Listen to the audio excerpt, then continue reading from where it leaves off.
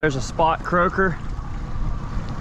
Hook it in the back of its dorsal, just like that. And we're gonna drop this down. It's just a simple knocker rig.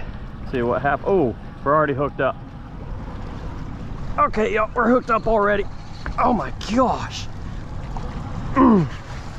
First drop. And we have something pretty good. God, it's a big one there. That's a big popo.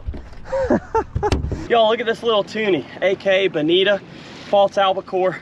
Really good size one. Man, that was cool. I'm gonna bleed them out, throw them in our fish box and get another bait down.